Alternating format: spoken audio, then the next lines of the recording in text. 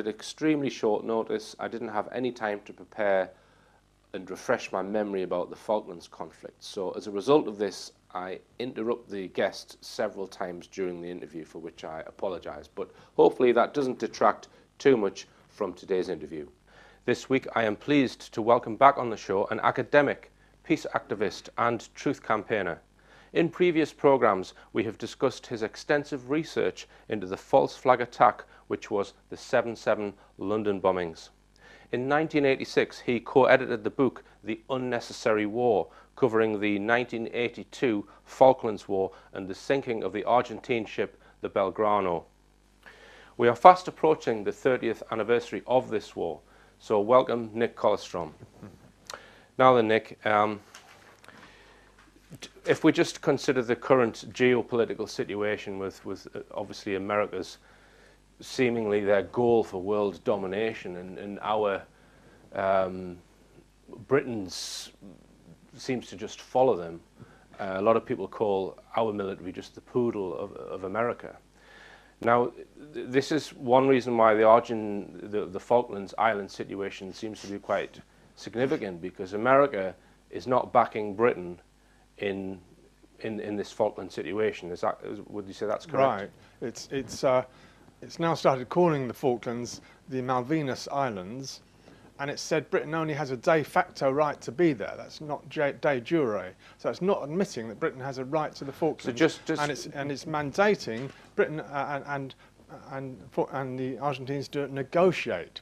Right. So is, what, uh, what's the difference between those two terms, Nick? Just explain well, uh, that. if it had a de jure, I mean, had, Britain had a right to be on the Falklands. What Britain tries to argue, mm -hmm. whereas the Argentines don't accept that. They said we just grab the Falklands and uh, it should be in some way uh, shared uh, or, or, Argentina has some kind of right to the Falklands. So this is the highly disputed area which I don't think we'll ever get a clear answer about. And America agrees with Argentina on that then? Well, it's, it's saying there needs to be negotiations, that there is something that Britain needs to negotiate and it can't just keep this attitude of, oh, they're ours and uh, that's it. Mm -hmm. And was that America's stance in 1982 when this conflict broke out? Well, America didn't want that war at all because it was uh, two allies. But uh, in the last analysis, America sided with Britain, and, and we could only win that war because it gave us some nice missiles we could use and its its uh, its technology of uh, intercepting messages and so on uh, and refueling. We were totally dependent on America for fighting that war, mm -hmm. and 8,000 miles away now Britain has not got the military to defend that island again if, if it should need be. So were America not late in entering that war, Nick, or did they? As far as I remember, Reagan, was it Reagan was in was in power? He didn't support Thatcher immediately, did he? Well, all the time when the, the task force was sent out, uh, Al Haig was uh, trying to get a peace deal. All Al Haig time. is the, was the, the American, American, Foreign Secretary. yeah. Uh, he was trying to get with Margaret Thatcher a peace deal, what would satisfy both sides. And then during the key weekend, once the task force arrived there, at the end of uh, April, they put down this 200 mile exclusion zone, which is very important for us, our story. Anything inside it would be sunk. That was mm -hmm. a clear warning gave to Argentina. But there wasn't a general war because there was uh, peace negotiations going on and both sides said they wanted to get a peace deal. And during that weekend, Francis Pym, that's the British Foreign Secretary, and Al Haig were negotiating in Washington, and they thought they'd got a deal. And they were in telephone conversation with these people in Peru. There was intense negotiations over the whole weekend at Peru, uh, and uh, with the British ambassador and the Ar Ar Argentine uh, Prime Minister. So, so what? This was in 1982. What uh, month was this in, Nick? Uh, April, the task force sailed, a huge task force of sails right. Uh, from Britain. And so when, just just go through the, the timeline of it then, Nick. I mean, okay, well, at what point did it come on at, the radar as being a problem? At the end of March, Margaret Thatcher announced that this had come out of the blue, that suddenly the Argentines had taken over uh, Port Stanley. So what, militarily? Were, yeah, yeah. So, the, so, was, so, so, so the mainstream media was saying there's been a surprise attack on the Falkland Islands, yeah. and, and we've we've got helpless British people there whose yeah. lives are at risk. yeah, that okay. was the whole thing, uh, invasion, and, and we've got to defend. If you look back at what actually happened, there was uh, there were negotiations going on between Britain and Argentina, which were supposed to get somewhere. The UN has said, as an end to colonialism, there must be some sort of shared agreement. And, and, and, and what was the timescale of those negotiations? Well, let's was that say- prior to this? Yeah, let's say a couple of months, January, February, right. prior to the war. And basically, Britain didn't want those negotiations to get anywhere. It was not negotiating in good faith. They just wanted to use a whole lot of amenities from the uh, Argentine mainland, but to keep the island totally British in perpetuity. Uh, so they thought there was nothing to negotiate about, and I think that was one of the causes for the war. And then there was a, a funny business with some um, some uh, scrap metal dealers on, on Georgia, which was said to be trying to take over the island. But actually, they were British, British employed, we've since found out, and they didn't have any sort of guns or anything, uh, and it was So a bit of a on, this is, manufactured this, is, this is the initial story where they said that the Argentine Argentina had invaded, well, took over the island. Hmm. You're saying that wasn't true. Well, just uh, what, uh, there wasn't a government decision to invade. That did not happen. An Argentine government. Argent- Argentine government did. There, there was uh, this kerfuffle with some uh, uh, scrap metal dealers on, on the island who were alleged to be uh, being disruptive, and then uh, and then both sides started responding, and the Argentines thought there was provocation for sending some ships over to see what was happening, and then the Argentine military, who were out of control from the government, started uh, sending their ships over there, and then an invasion ha- had had happened, which the Argentine government wasn't really able to control, and eventually it had to support. Don't forget, this is the 100th anniversary of uh, a big claim of now 150th anniversary of a big claim of sovereignty of Las Malvinas. So, so very- let me get this right. So it wasn't disputed on any side that the Argentine ships went to the Falkland Islands and came on the land and, and sorted out some kind of Yeah, situation. yeah. But it's just whether that was just a completely unsolicited attack or whether it was some other event which triggered it. Is that what you're saying? Y- yeah. So what thought- was that event that triggered Th- the Argentines coming on to? That was uh, s- some scrap metal dealers who were employed by a British company and were- not armed, as it simply turns out, uh, uh, and uh, they were, whatever they're trying to do, it was alleged that they were behaving wrongly and were in some way a threat to the island. This Right. is on, on South Georgia, Right. one of the Falkland Islands, uh, and uh, and Rex Hunt, the um, British representative there, uh, tried to make out that they were invading uh, and, it was reported in the British press as if this were an invasion. Uh, so there was a kind of provocation. Uh, I'm not, all I'm saying is that uh, this, was, this wasn't just the Argentine government deciding to invade uh, the Falkland Islands. Right. It was independent. This was a military acting independently, and did Yeah. I, am not sure of the story. Um, I was 14 at the time that this happened. I, I remember it, um, but not in any great detail. So when the Argentine ships got there, did they take any hostages, or did they did they fire any weapons, or did they?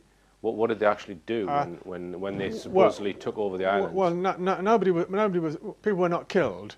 Uh, it was Argentine takeover of the islands, uh, and, and they then appealed to Britain to help, yeah. Right. And Thatcher did. Who appealed for Britain to help? The people of the islands. Uh, yes. Right. Okay. So, so you uh, do you suspect that that was some kind of false flag event then to, to, to trigger that or not? Well, not really, but I'm saying that there are two sides to the problem. Right. Britain needed that war, firstly because Margaret Thatcher's popularity was at absolute rock bottom and she wouldn't, there's no way she would have got re-elected. And secondly, the Navy was facing very severe cuts and Mm-hmm. it needed a bit of action to show the British people why it was, Okay. uh, why it should fend off Now, those cuts. the- Uh, and just let me say, uh, the great achievement of the war from the point of view of the British uh, military was the Harrier jump jet. Uh, that, that achieved massive sales after the Falkland War. Could, it could take off, uh, uh, take off, off, off off a ship quite easily, Yeah. uh, and it sort of won the war for us. Uh, uh, and that was sold all over the world after the Falkland War. Okay. Now, a lot of patriotic people will be sitting at home next saying, "What is this?" They tried to take over British land, and we came and liberated that land. End Right. of story. Yeah. Okay. Let, let's ask. Let's first of all notice that when the killing war broke out on the first and second of May, uh, that uh, first of all British started shooting people uh, on the, on the island, uh, uh, uh, and then they sunk the Belgrano. So massive deaths occurred on the 1st and 2nd of May, and then British deaths occurred after that, followed on afterwards. Okay, During that weekend, uh, Francis Pym, British uh, uh, Foreign Secretary, and Al Haig were, were negotiating all the time in Washington, trying so to get a peace deal. just go back a step, Nick.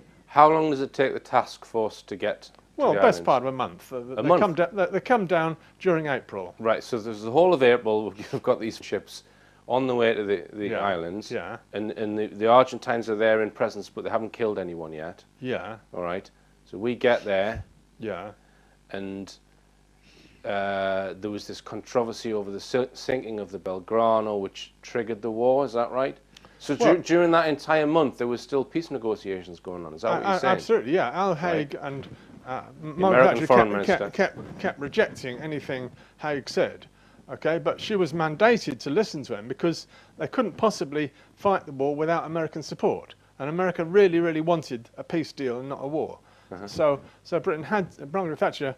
Maybe she didn't want anything to negotiate. She just wanted a, a jingoistic victory. Okay, but Britain's foreign secretary really, really did believe that they could get a negotiating settlement. And when he said, he said on the 1st of May, no further hostilities are envisaged at the moment, other than making the total exclusion zone secure. I suggest that is a very important statement. He, he said the, the shooting on, on Port Stanley uh, that day, 1st of May, was just to concentrate Argentine minds, and it did. As soon as they saw what it's really like, where the British military ar- ar- arrive, uh, and that they couldn't really See, the Argentines had never really had a war before. They, they had all the machismo wanting the Falkland Islands. They never really had a war. As soon as they saw what it was like, they basically realised uh, that uh, led very soon to wanting to n- n- negotiate. Uh, and uh, I, I think there could have been a decent uh, So, peace deal. so Francis Pym, you think he was at odds with Thatcher then? Yeah, yeah, Thatcher didn't like So him has at all. Francis Pym actually written about this since he's retired? He hasn't Is said He's not alive now, is he? Uh, he hasn't said anything. He just had to swallow the official line. Right. And, and, uh, and, and, So he's and get- get. Get, get over it, yeah. But, but uh, he, he was genuinely trying to pull out a, a, a deal at the time. And uh, there was great optimism, sense of triumph in Peru.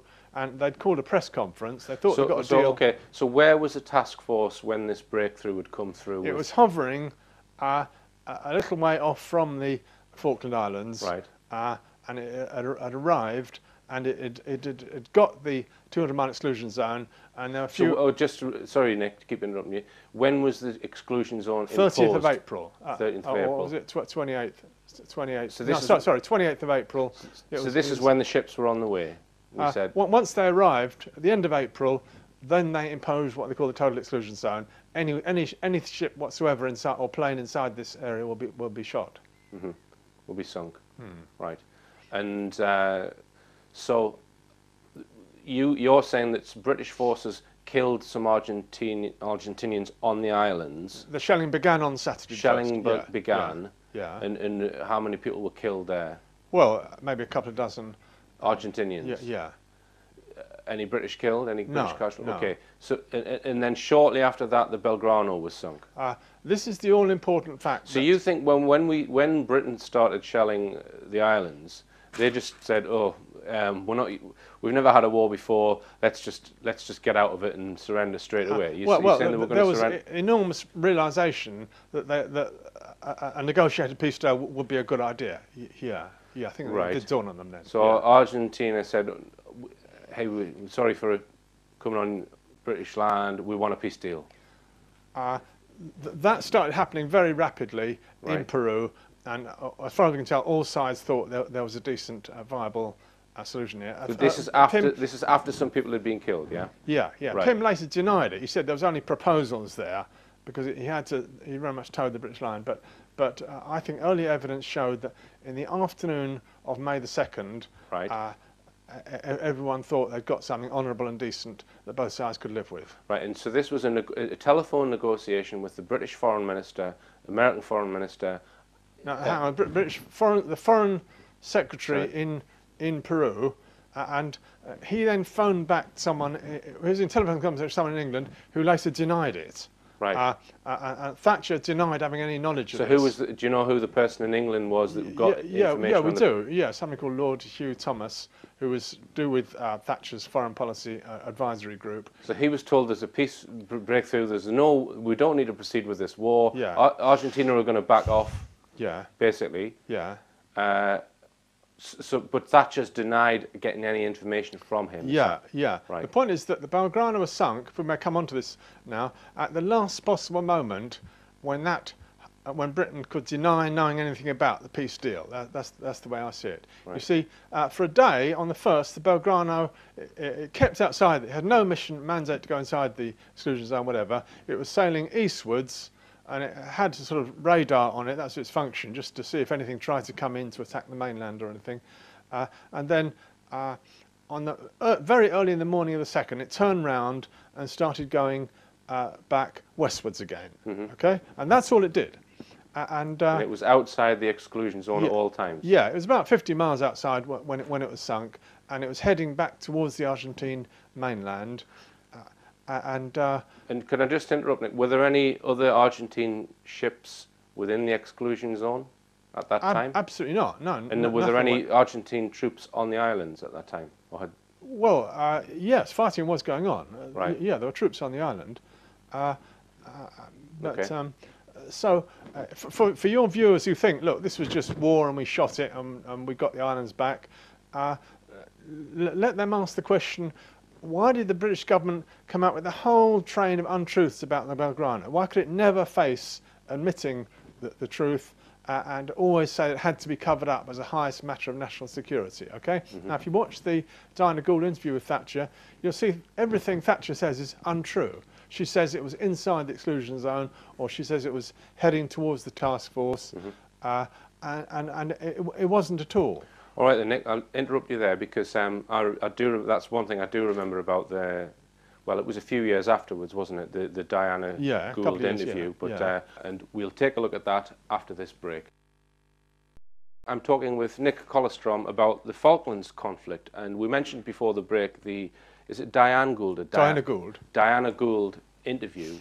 Uh, now she was on a program called Nationwide, which was being hosted by Sue Lawley, I think. Sue Lawley, Nick, yeah, Sue yeah. Lawley and, and Margaret Thatcher, the Prime Minister at the time, was there, being questioned about the sinking of the Belgrano. And as Nick said, you're saying that almost everything Thatcher says in this clip is, is not true. Yeah. Okay. Yeah. And almost everything, or everything Diana Gould says, is true. Totally. Yeah. Yeah. Right. Okay. Well, let's just take a look at this clip. Bristol studio. Mrs. Gould, your question, please. Uh, Mrs. Thatcher, why, when the uh, Belgrano, the Argentinian battleship, was outside the exclusion zone and actually sailing away from the Falklands, uh, why did you give the orders to sink it? But it was not sailing away from the Falklands. It was in an area which was a danger to our ships and to our people on them. Outside the exclusion zone. Uh, but it was and- in an area which we had warned. At the end of April, we had given warnings that all ships in those areas, if they represented a danger to our ships, were vulnerable. When it was sunk, that ship which we had found was a danger to our ships. My duty was to look after our troops, our ships, our navy. And my goodness me, I lived with many, many anxious days Uh, and nights. Mrs. Thatcher, you started your answer by saying it was not sailing away from the Falklands. It was on a bearing of 280 and it was already west of the Falklands. So I'm sorry, but I cannot see how you can say it was not sailing When away from the it Falklands. Was, when it was sunk, When it was sunk. it was a danger to our ship. No, ships. but you have just said at the beginning of your answer that it was not sailing away from the Falklands, and I am asking you to correct Yes, that statement. but it's within an area outside the exclusion zone, which I think what you are saying is sailing away. I think No, we're, dis- I'm not, about Mrs. which way it was which facing was at the a time. I am- danger to our ships. Mrs. Thatcher, I am saying that it was on a bearing 280, which is a bearing just north of west. It was already west of the Falklands, and therefore nobody with any imagination can put it sailing other than away from the Falklands. Mrs. I'm sorry, I forgot your name. Mrs. Gould. Mrs. Gould. Um, you when know- the orders were given to sink it and when it was sunk, it was in an area which was a danger Yes. to our ships. Well- now, you accept that, do you? Uh, no, I don't. I'm sorry it was, and you, Um, must, you must accept no, that Mrs. when we gave the order, when we changed the, ex- the, the rules which enabled them to sink Belgrano, the change of rules had been notified at the end of April. It was all published that any ships that were a danger to ours within a certain zone wider than the Falklands were likely to be sunk. And again, I do say to you, my duty, and I'm very proud that we put it this way and adhered to it, was to protect the lives of the people in our ships and the enormous numbers of troops that we had down there waiting for landings.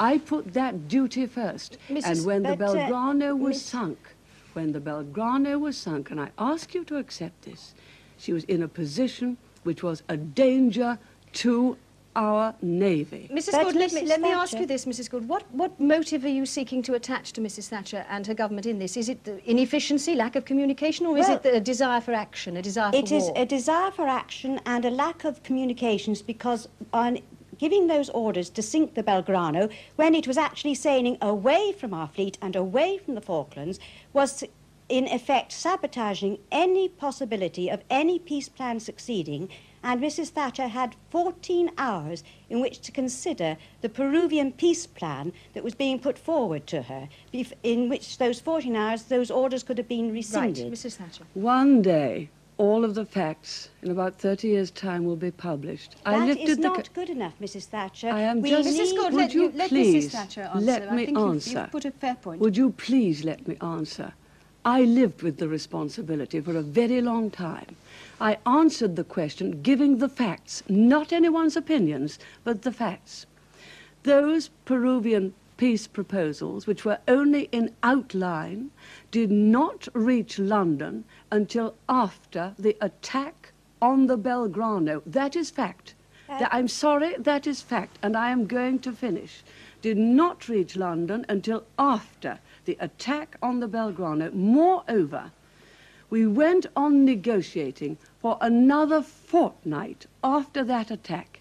I think it could only be in Britain that a prime minister was accused of sinking an enemy ship that was a danger to our navy, when my main motive was to protect the boys in our navy. That was my main motive, and I'm very proud of it. Mrs. Gould, One day all the facts will be revealed, and they will indicate as I have said. Mrs. Gould, have you got a new point to make? Otherwise, I must move just on. Just one point. Um, I understood that the Peruvian peace plans on a na- uh, nationwide programme were uh, discussed on the midnight May the 1st. If the, uh, that outline did not reach London for an- another Mrs. 14 ha- has said that hours, it didn't. um, I think there must be something very seriously wrong with our communications, and we are living in a nuclear age when we're going to have minutes to make decisions, not Right, hours. let- All right then, Nick. And, and Sue Lawley lost her job. And Notice the very balanced, even-handed approach of Sue Lawley Yeah, in that interview. That was something that, we that were gets dis- her fired. that we were discussing off camera. Nick was saying that um, in no television uh, political debate program these days would uh, uh, somebody be allowed to attack a prime minister or a politician as easily as, as Gould did. So, in other words, the host would normally step in and protect the politician. Yeah, But, we- yeah. but Sue Lawley was, I think Sue Lawley was trying to find out for her own knowledge Totally, yeah. what, what, Totally, what, what the nub right. of the question or Yeah. the issue was. Yeah. So for me, she was she was actually did a good job there. Yeah, allowing totally, yeah. Thatcher to be Totally, yeah. to be questioned. Yeah, And- right. And, one point, I think where this is one of the few times where Thatcher really was on the defensive. Not normally she's quite an aggressive, not aggressive, but a, a very assertive speaker in control. She wasn't in control in that interview. She was. She was on the rails, basically. Well, she the- had her usual ropes. hypnotic manner. You do believe this, don't you? You must believe this. Of course you believe Yeah. this. And Yeah. Diana just didn't go for it. Yeah, yeah, yeah. And, and- and I think where Thatcher went wrong there, she should have just admitted she was wrong. She should have just said, "Yes, I, I correct myself. It was sailing away Right. fr- from the from the Falklands." But Right. you don't think she was allowed to do that, Nick? Uh, Well, well uh, the, the whole story of what the Belgrano was doing got wrapped up by her devious mm, Defence Minister Michael Heseltine as being top national security, and it can be called the crown jewels because Clive Ponting was was commissioned by Heseltine to look into it, and he then shipped a whole lot of stuff to Tam Dalyell because he thought this is so important, this cover up, and uh, he then got arrested for it. And if you remember, the jury let him off; he, he was acquitted. Uh, Who got arrested? uh, Clive Ponting got arrested Right. because he, he told Tam Dalyell about all this stuff. I see. And- and- so it was a, the usual, it's a matter of national security, so we can't give anyone any, any, Yeah, any information. yeah. In other words, we can't let anyone see our lies. Yeah, uh, yeah, and, and the jury acquitted Clive Ponting, uh, and uh, that was a major part of the inquiry we held uh, back in 1985 of, getting the real story out. Of Okay, so just tell us about that then, Nick. You held an inquiry with some very Yes, at Hampstead Town Hall, the Belgrano inquiry, we had a whole lot of people, uh, Tam Dalyell, Clive Ponting, Ian, Ian Mercado, So this is what three years after the yeah, conflict? Yeah, Okay. and Paul Rogers, the professor of peace studies at, at Bradford University, uh, th- these kind of people, and we invited both sides. The government didn't want to send send anybody, uh, and uh, our book was uh, published. Uh, fr- from that, and I think we, we got the story. I mean, the thing is that we didn't have support from Peru or Argentina of giving their vital documents. That, that was that was the the, the, the, trouble. There, there's a whole lot of details of exactly when, who phoned who when, and who agreed to what. Th- that they were pressured into not. Peru was put under pressure not to come out with details of exactly By who? Well, by British sources, obviously. Uh, Britain didn't want them to come out with this story. Right. Uh, so you were trying to find out the exact sequence of events in this peace negotiation and when that got back to London, and did it get back to London in time to prevent Yeah. the loss of what a thousand lives? Yeah, yeah. As well, it was about uh, 300 or so uh, uh, actually died Belgrano. Fortunately, of the 1,100 uh, people on the Belgrano, most of them s- survived. Right. Um, um, but as, as Diana Gould says in that But how, interview, how many died in the entire war? I think it was I think it was a thousand or so. Right. Okay. Um, uh, as Diana Gould says, there was a 14-hour period between the, the Peru uh, announcing or having a peace deal and the decision which Margaret Thatcher made at Chequers to give to authorise Right. the, the sinking of the Belgrano right. uh, uh, because of the different time zones. So there, there was a lot of time in which the government had to try and try and deny having any interception. Right. So what is? I mean, how does Thatcher uh, respond to that? She was asleep or what? Well, they always respond by saying, "Oh, this is national security. It'll come out in due time," uh, and uh, people get confused about the different time zones.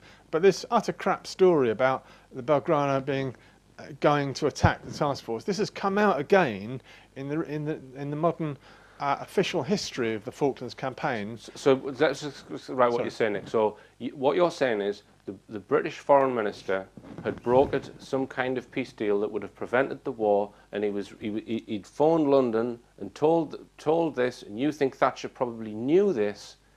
He had, He, he had he had probably phoned London. right Uh, uh, uh, and exactly who has found London is difficult to say because because they Brits have denied, it denied it all. They're, They they're denying all. that, that, they had news of yeah. it, but they probably but, but did have news obviously, of it. Obviously, Uh, Pym is going to phone London. He's in London, if he's in Washington with Haig, and there's very important negotiations with Argentina and Peru, obviously he's going to tell. So you think Thatcher just said, no, I don't want to know about that peace deal, because obviously that she'd committed a whole load of troops that were all there ready, Yeah. ready to, Yeah. Ready to let rip, and she, you think she just went, no, we've got to have this war now. The troops are there. Sink that Belgrano. Yeah. Let's get need- let, let's get it started, chaps. She needed that for the terrific jingoistic, let's put the great back into Britain stuff, on which she got re-elected, and you had then had that. She became the Iron Lady after that, if you remember. Yeah. And you never seen so many flags fluttering, British flags everywhere. I um, mean, you can you can see the logic in that. Not, I'm not saying that it's correct, but you can you, you, you can you can um, understand that kind of mentality whereby if if she's got to say, okay, lads, no, there's a peace deal, turn your ships round and come back. Yeah. It it, it doesn't look It may very. not, but all I'm um, saying, for all your any of your, your viewers who support this, it needed this cowardly act of mass murder. That an old battleship, absolutely no threat to anyone, going home with most of its staff uh, in a cafe or asleep, suddenly getting two torpedoes from a hunter-killing nuclear submarine, Uh, uh, and that was so shocking and such a violation of international law that, that uh, Britain has covered up the facts about it ever since and is still covering it up today. All right, so, so you mentioned international law there, Nick. If it's a violation of that, um, why isn't Thatcher in The Hague on trial with this? Well, these things, they, they never do try any, uh, any, any European leaders, but uh, the, the whole thing was supposedly done under a UN uh, resolution, mm -hmm. Article 51, which involved minimal use of force mm -hmm. and, and trying to get a peace deal. And the minister said, we are not at, at war. This is, a, uh, this is trying to resolve the dispute with minimal force. Right. Uh, and, and that was the principle under which whenever Britain did something, that's why they had to get authorization from Chequers or, or from Northwood. Those are the two British centres of decision making. Just tell us what the title of the book that you co-edited is, Nick. Uh, our inquiry produced this, The Unnecessary War, as an outcome of the, uh, the uh, two-day inquiry we held. And uh, also, I'd like to recommend this little book, if you can get hold of it, by just, Tam Dalyell. Just hold it up a bit higher. By Tam Thatcher's Torpedo, which uh, is his speeches at the House of Commons. It was a tireless research by Tam Dalyell. So he, he was a Labour MP. Is he, Yeah. is he still an MP? No, no, he's long re- retired. Uh, Uh, and he, he opposed the Falklands War, did he? well, it was through him that, that the story started coming out. For example, initially the government was saying the decision to sink the Belgrano was made privately by the submarine commander.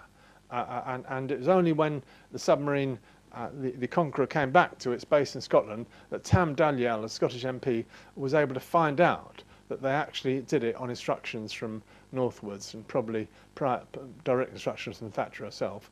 Uh, and uh, Tam Dalyell got quite an, annoyed at this uh, and uh, started asking questions and finding out the conditions under which it was really sank. Mhm. And, and he came to the conclusion, which I think is fully supportable today, that it was done in order to scupper the peace deal. Now, i now, in the interview that we just watched with uh, Diana Gould and Thatcher, Thatcher says it will come out in 30 years. Yeah. Is that another lie?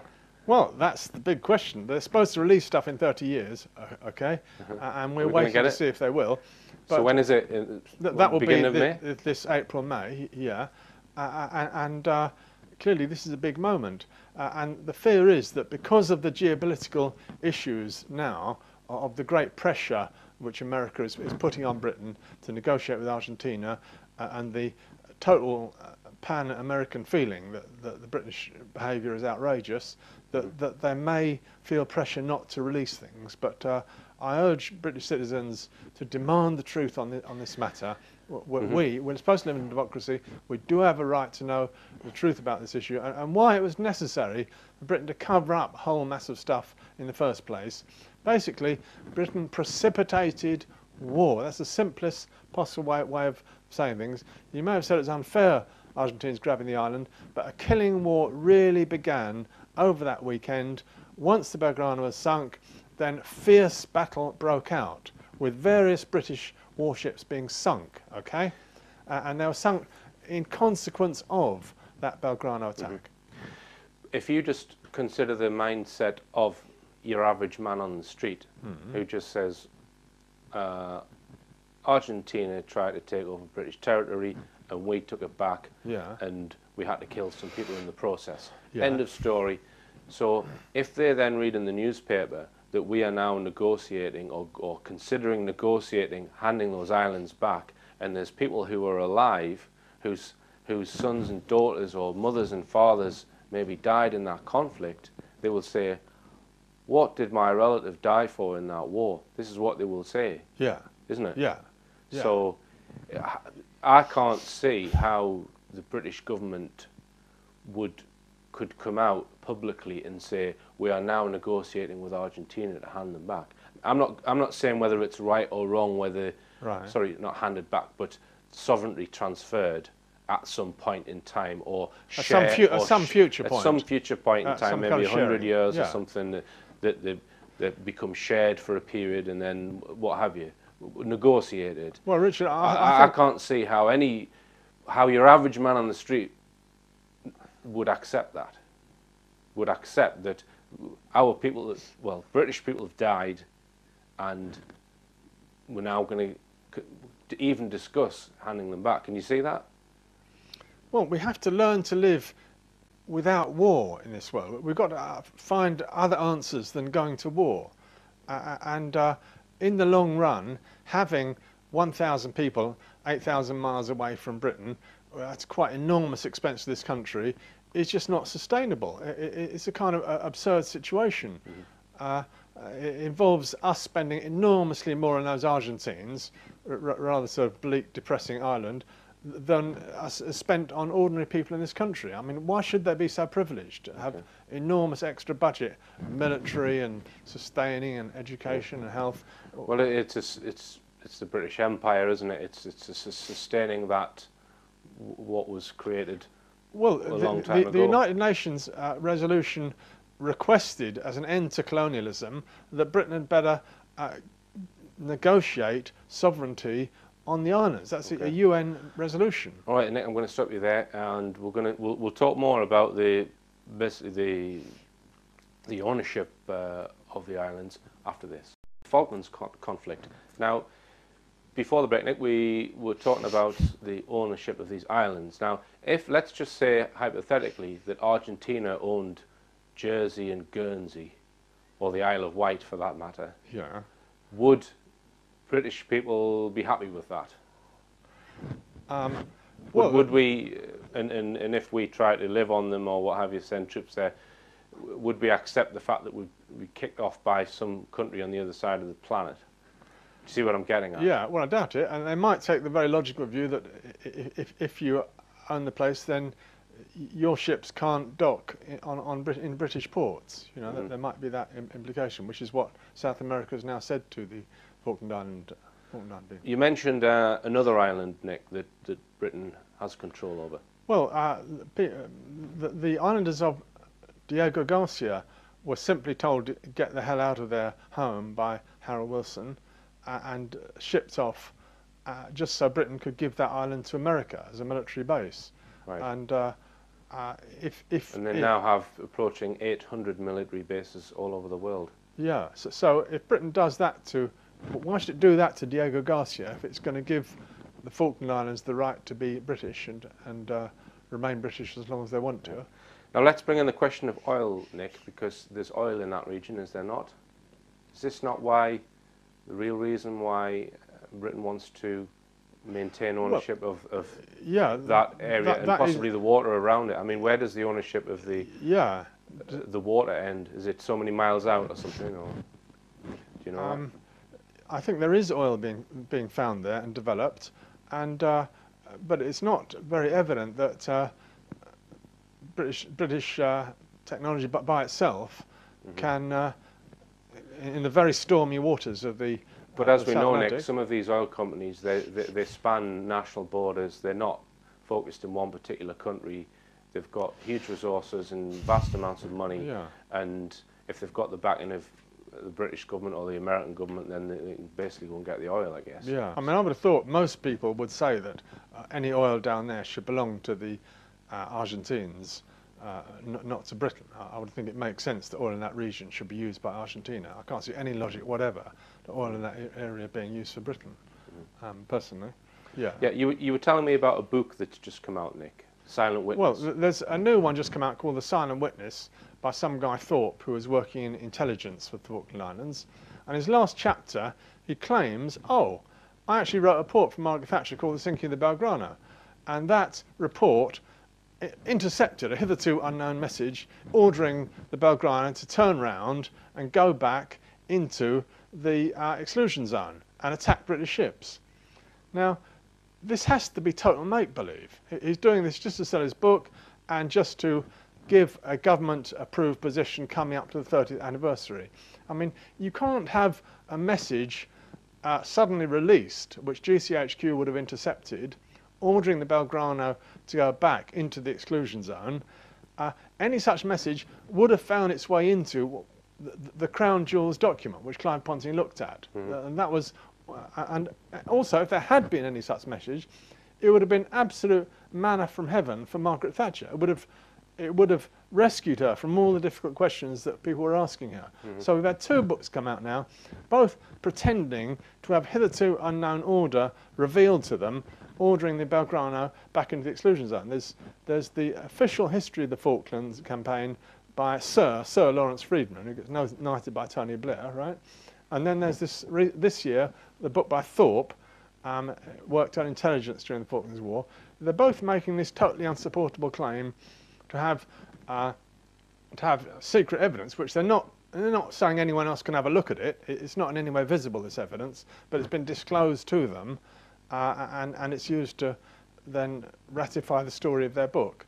Uh, and uh, I think it's imp- important to see this as, as uh, these are fabrications put up to try and um, uh, try and marginalise and sideline uh, the, the people uh, who are now dismissed as conspiracy theorists who are trying to find out the real reason for the sinking of Belgrano. Right. And, and so do you know, ha, has the current government, British government, made any statements on the Falklands recently? Well, yeah, uh, Cameron's uh, engaged in. Uh, uh, he has to respond to America saying, uh, uh, saying there's negotiations have got to happen, and obviously the British government is very upset about that. Uh, and- Cameron's made some remark about colonialism, which is perhaps rather ill- ill- ill-advised. Um, What can can you give us the, the gist of his remark? Oh, he, he was trying to make out the Argentines were being colonialist and wanting to have a claim on the island, which um, I think is rather, rather outrageous, and it just irritated everybody. Um, But uh, I, I, I, th- I think and I hope that some, some stuff will be released uh, over the at this 30th year anniversary, and it will help t- to get a real reconciliation, understanding, which we need for the future of those islands. So do you think that there'll be a media turnaround then in terms of uh, perhaps some of this information will come out in the mainstream media in order to move the public to accepting Doesn't look like it. transfer? Uh, I, am not that optimistic. No, no, I think there'll be a Okay. whole lot of, uh, a whole lot of co- cover-up stories, uh, uh, uh, and uh, en- endorsing official British machismo. yeah Um, but doesn't that put us at loggerheads with America then by taking that stance do, Amer- do you not It- think it is, America yeah. understand the problem that the British government are in not that it's a it's a problem of their own making because as you suggest the war probably could have been avoided and should have been avoided by the sound of by from what your evidence suggests um, but America don't really they're not really bothered about that you think well, they're under pressure. There's South American uh, uh, Confederation. Uh, th- th- they want. they this need is, good relations. all of the South American Yeah. countries they're fair, all South, are fairly sticking together Yeah. and saying to America, look, Argentina should eventually Yeah. at some point either have shared ownership or some timescale totally, transfer. totally, yeah, yeah. They're all saying that to America, and America Yeah. is saying, well, I- America's under pressure to, to accept that. right, okay. Uh, So, so what you're saying is that the influence of all of the South American countries is possibly as big as Britain's influence in America. So therefore, there's this political football, if you like. That's what it looks like, yeah. Right. Okay. So, uh, you, but you, you you can't see that then. The, the, the, the, our our government actually start negotiations to, with some kind of time scale for Well, either shared yeah, ownership or transfer I, I, I ownership. haven't got a crystal ball for what's going to happen in politics, Richard, but uh, my, my business is to try and get out the true story of what happened 30 years ago Mm-hmm. uh, and why was enormous amount of deception and cover-up necessary uh, by the British media and the British government, uh, uh, and, and, and uh, can we try, try to get the truth of what happened? Yeah, I mean, if we can just widen the discussion a little bit, Nick, and I'll just pop a philosophical. Oh, yeah, question, a right. philosophical Yeah. question, and if you just Yeah. consider the Earth to be like a dog, and we are fleas living on the dog, Uh-huh. the fleas draw these lines on the dog, and they call them countries, and they say, well, this is our bit of the dog. We're going to live on the ear, and there's no way you lot are going to come over here and share this ear with us. We want you to live on the arse. Right. So, that, so we've split up the planet into these things called countries that we fight over. I mean, Yeah. for me, saying that you own or you control or part of the earth belongs to this group because we fought for it is a bit like saying that we own the air, the air that we breathe. We're all on this planet together. I mean, Yeah. I, I don't have a problem with everyone sharing the planet, right? Which, which might be considered a globalist agenda. Globalist agenda, yeah. But I, I don't see anything wrong with a globalist agenda as long as it's not done by stealth, which is what globalists are trying to do, the likes of Kissinger and Brzezinski Yeah. and what have you. Yeah. They're trying to bring about a global government which is going to be very controlling and, and Yeah. uh, you might call it um, communist or, or corporatist, Yeah. uh, where the Yeah. people don't really have a say and there's an elite Yeah. governing Right. billions of people. Right. That's what they're trying to bring about. Right. But I would say that there's nothing actually wrong with globalism if it's done with with the will of all of the people. Yeah. Because as Well- you say, there's no. We need to get rid of war, and, and, and no one's ever come up with a solution for getting rid of war. Yeah. Well, uh, I mean, if you're looking at a wider perspective, people say, oh, Thatcher was right because the Argentine government was so terrible and had massacred so many of its own citizens. And uh, this Falklands War led to this collapse of the Argentine government. Um, uh, uh, and, uh, and they're quite glad to uh, that she helped get rid of it. So, I mean, there are different aspects in all this. Uh, and the one thing I, I'm totally committed to is that people want to talk about it, they've got to talk about it on a basis of knowing what really happened. Uh, and we've got to have transparency. Yeah. We must not have a secret state which can cover up what it did and say, oh, we're not allowing you to reach decisions on the matter.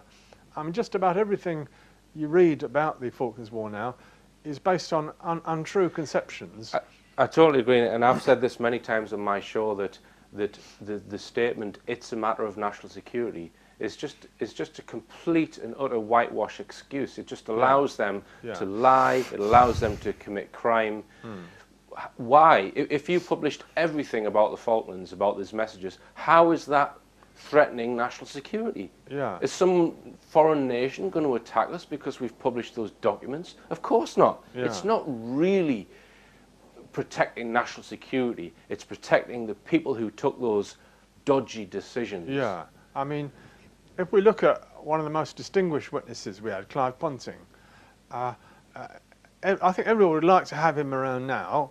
And obviously, for example, if you got a chance to interview him in the coming months about what happened. He was a civil servant. He was at the heart of it all, and he could give. He would have authority that that. that uh, journalists and politicians would listen to if he were. Now, he's nowhere to be found. We spent a, quite a while trying to contact him, find out where he is. He's somewhere in Bahamas or somewhere. So what was his role in it, Nick? Well, his role was as a senior as civil servant. He was employed by Michael Heseltine to get all the secret dossier together, the crown jewels, and to advise Heseltine about what he could say in public.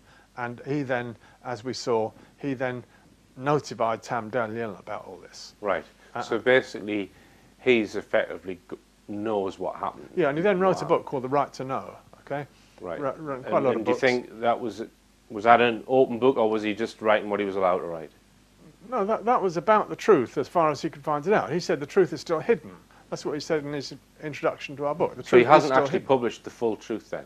Well, he doesn't know it. None of us know it. That's the thing. Right. Because so many of these vital telegrams have been deleted and whatever. Right. Um, now, what I'm saying now is that uh, is that Clive is not going to appear. I don't think he is. I think he would be in danger if he did step forward now. I think that's the climate we now live in, and there are several other people I could mention who will be totally key witnesses who could come and testify. The media would really listen to them. Uh, I mean, I, I'm just a sort of discredited conspiracy theorist, uh, and uh, I mean, called a, a Belgranaut. That's what Belgranauts. That's what. Oh, that's, I've never heard that word before. Belgranauts. That's what Lawrence Freedman has used to dismiss the people Belgranaut. who go, go on about it. Yeah.